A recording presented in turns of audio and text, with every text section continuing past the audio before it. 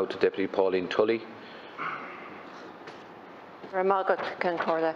Um, Minister, I wish to support the bill, but while supporting this bill, there are a couple of things I am a little bit concerned about. The first one is if a parent or guardian or, or grandparent approaches a teacher or member of school personnel to try and influence grades, but does so without the knowledge or the consent of the pupil, I don't think that the pupil should be held responsible or accountable, and I believe a fine should be imposed on said person rather than the student being denied a, result. Uh, a result.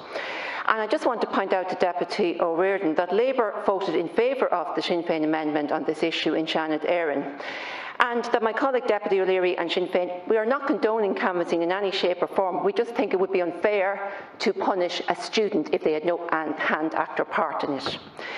Uh, I would also have some concerns about the exact form of standardisation that will be used and fear that certain schools may again be discriminated against, as we found that happened last year. So I think everyone just wants the system to be fair and transparent for all concerned.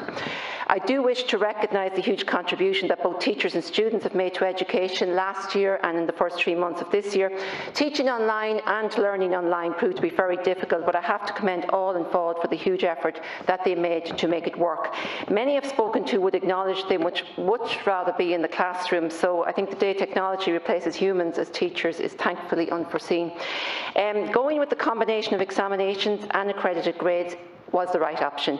Um, it was the option most favoured by the students themselves, and it allows many students who wish to sit the exams to do so, but it also caters for those who found it extremely difficult to learn at home where circumstances may not have been conducive to doing so, for various reasons, maybe access to technology or to decent broadband. I think the isolation of learning at home without the support of classmates proved to be the greatest challenge, and I hope that we don't have to resort to that again in the future. Thank you. Thank you very much, Deputy. Now, Deputy Gary.